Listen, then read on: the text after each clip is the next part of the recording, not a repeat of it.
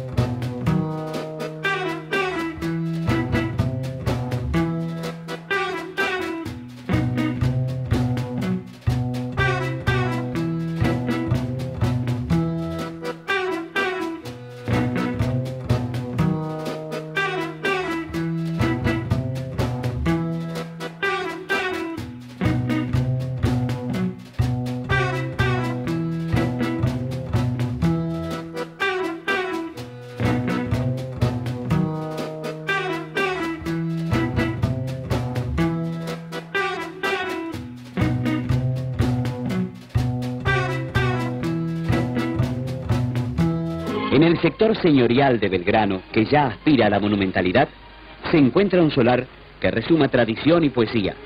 Aquí vive Amancio Williams, un arquitecto argentino de prestigio mundial, un creador de nuevas y bellas formas. Obras de arte por doquiera, un Fernand Leger de inestimable valía.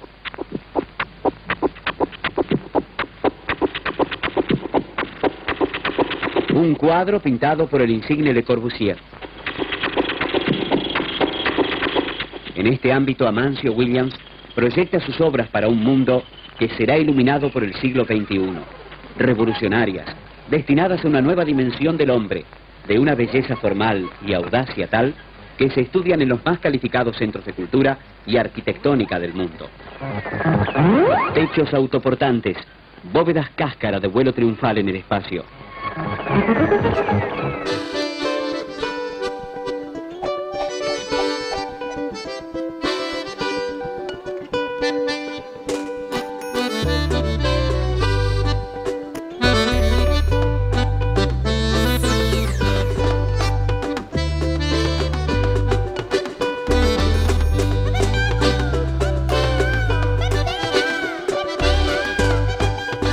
Raras son estas super sombrillas, ¿no?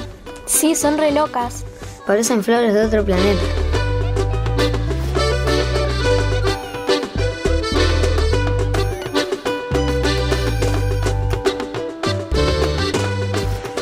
Estaría buenísimo subir con una patineta y saltar de una a otra.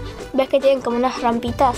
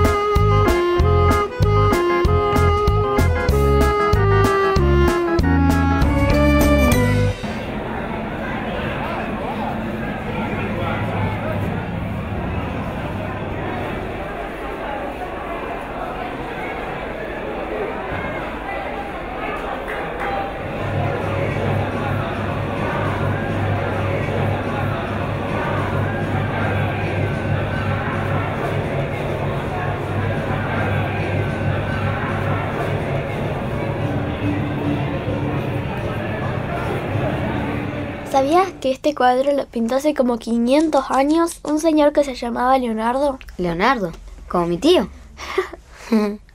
¿Sabes cómo se llama esta señora? Mm, no. Es la Mona Lisa. ¿Y por qué Mona Lisa? No sé, pero en realidad la llaman la Gioconda. Ah, parece como si nos mirara y se riera de nosotros.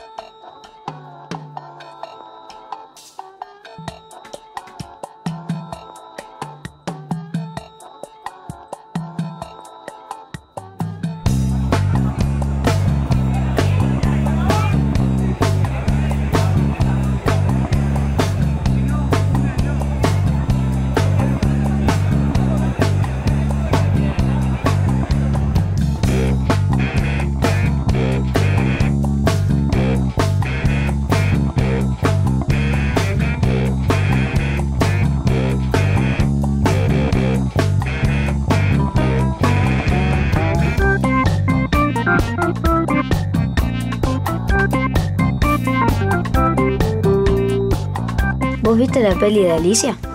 Sí, la vi. Y mamá también me leyó el libro cuando era más chica. Y yo imaginaba todo ese mundo mágico. Está buenísimo. A mí me gustan más las películas que los libros. Los libros me aburren. Sí, las pelis están buenas.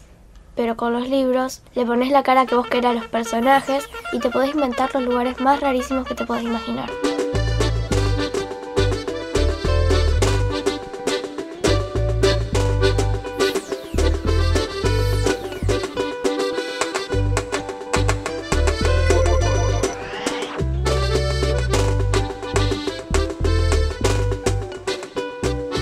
Para qué es?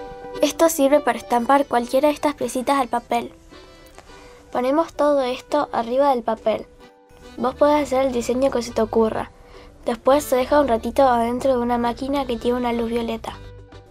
Abrimos la máquina y queda grabado en el papel la sombra de todas esas piecitas tal cual las pusiste, como si fuera una radiografía. ¡Wow! Está buenísimo.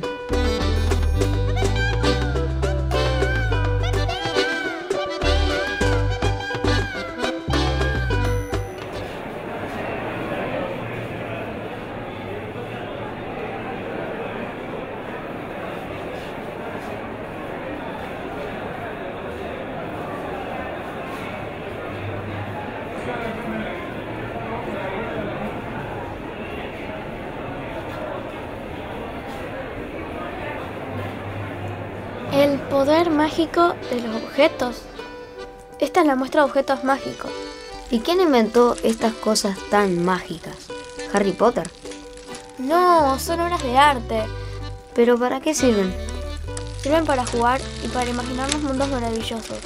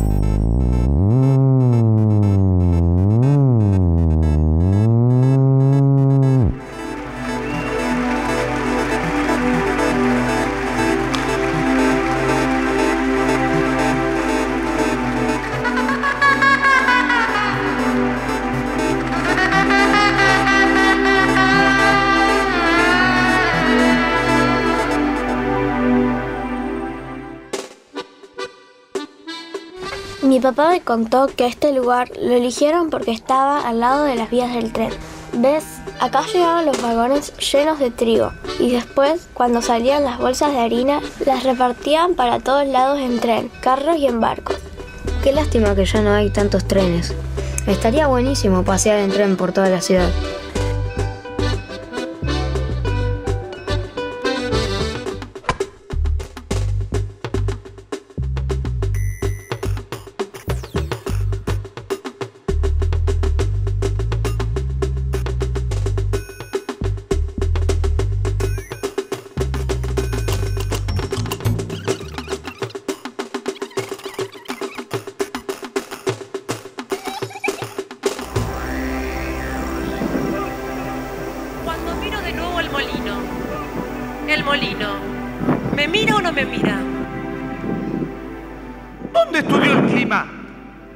Entre las columnas cambia de clima. ¿Cómo hacen las ventanas para contarle al viento lo que pasó durante 20 años? ¿Cómo? ¿Cómo? ¿Cómo? ¿Cómo? ¿Cómo? ¿Qué sueñan las paredes y los muros cuando duermen? ¿Y cómo hace la fábrica textil para saber que tiene que cambiar de camisa? ¿Por qué el trabajo trabaja todo el día? ¿A dónde van a parar los encuentros que no fueron encuentros? ¿Cómo hace el edificio de enfrente para ver lo que hay escrito en sus paredes? ¿Dónde estudió el clima? Que entre las columnas cambia de clima. ¿Dónde estudió? ¿Y la vida? ¿Qué pesos tiene la vida? ¿Eh? ¿Pesos? Pero son otras luces.